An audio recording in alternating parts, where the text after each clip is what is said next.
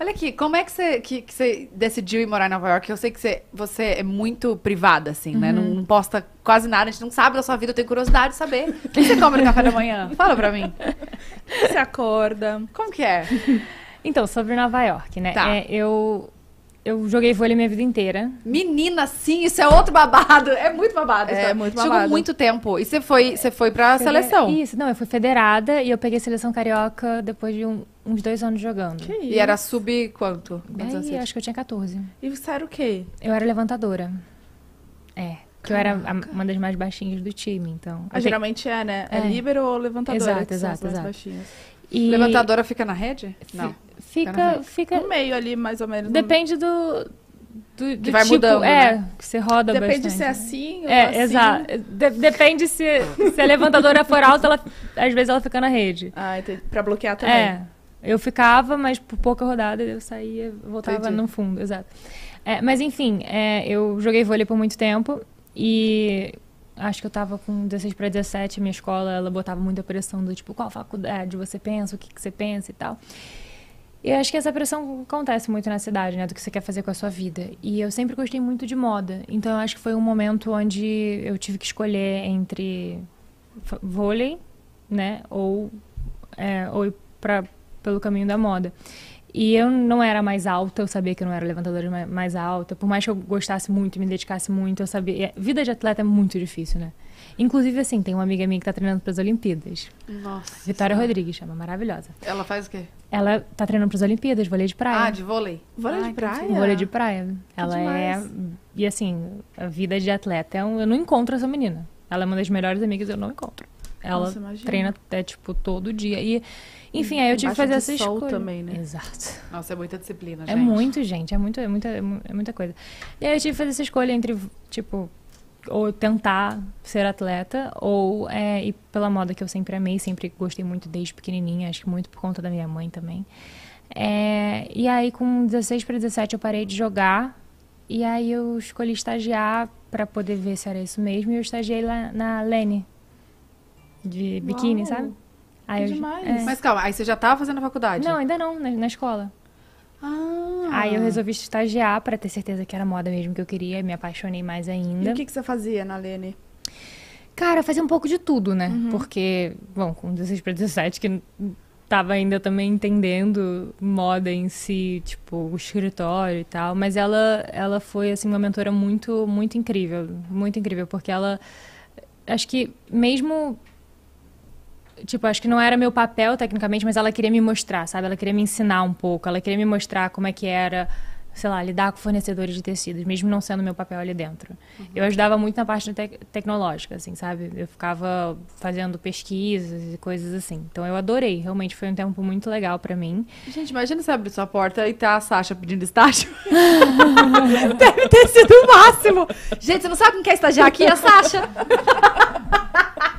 Cara, demais. É sério, é sério. Eu sei que pra você deve ser um saco. né? Você fala, "Ai, gente, tudo bem, eu sou uma pessoa normal. Mas assim, você abrir sua porta e tá a Sasha pedindo estágio e falar, amor, entra. O que, que você quer mais? Pode passar. Foi muito legal, foi muito legal. Quanto mas... tempo você estagiou? Ai, não foi, não foi tanto tempo assim, porque eu tava no meu último ano de escola e tava muito puxado. Então, assim, é, eu, foi, foram alguns meses, assim, eu Mas fiquei... foi o suficiente pra você entender. Pra eu assim. decidir que era isso que eu queria pra mim. É, e aí. E eu lembro que eu fiquei entre Londres e Nova York. Mas.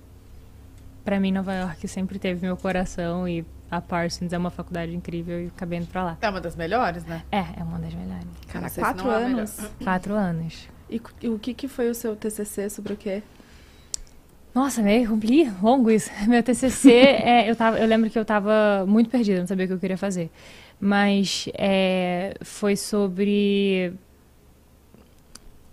Cara. Como pôr em palavras, então, né? é, não sei traduzir é, é muito, é muito, não. não, não. É, mas é porque quando você mora muito tempo fora, todo mundo esquece as palavras. Eu Cê- troco muita palavra e eu tava com. Eu, o João veio conversando comigo isso no carro, comigo sobre isso no carro. Tipo, pelo amor de Deus, Sasha, não vem inventando de botar a palavra em inglês no meio de uma frase. Você sabe que você faz isso. Mas acontece. As pessoas vão te zoar. Eu fico, tipo, eu sei. Não, tá tudo bem. Eu também faço eu isso. sei, eu já é fiz isso aqui agora. Padrão.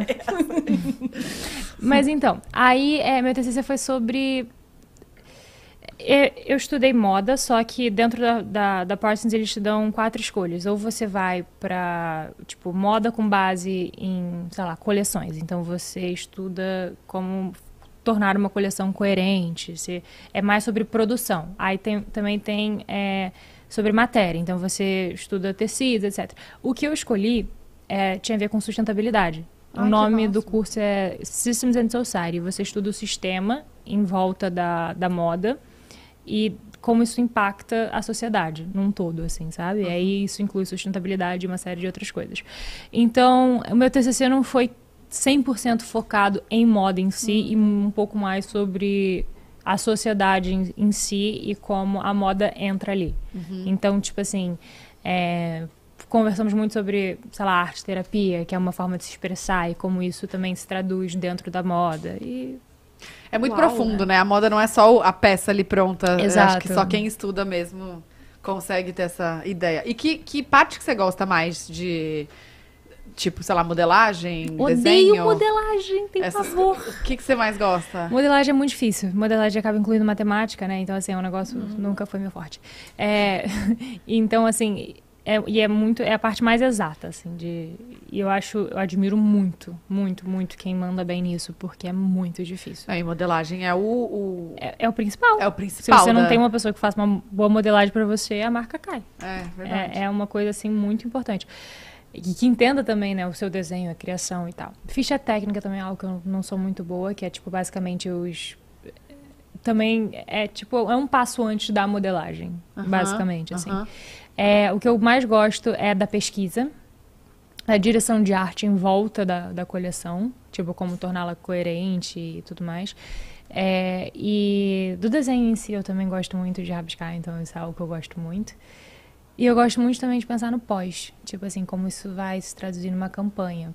Que aí isso acaba também se juntando com o que eu faço hoje, então é algo que eu gosto muito de explorar e brincar. Mais de 100 mil reais em apenas um ano, trabalhando sem precisar aparecer e sem precisar ficar de segunda a sexta, 8 horas por dia, como um emprego CLT. Pois é, eu consegui isso apenas com esse canal, que você está vendo esse vídeo nesse exato momento. E agora, finalmente, depois de tanta espera, criei um método onde eu ensino tudo que fiz para ter um canal de sucesso aqui no YouTube. Com quase 300 mil inscritos e uma receita de mais de 110 mil reais. Eu preparei uma apresentação explicando tudo o que fiz para ter esses resultados. E para ver essa apresentação, clique no link abaixo. Mas corre, a página logo ficará fora do ar.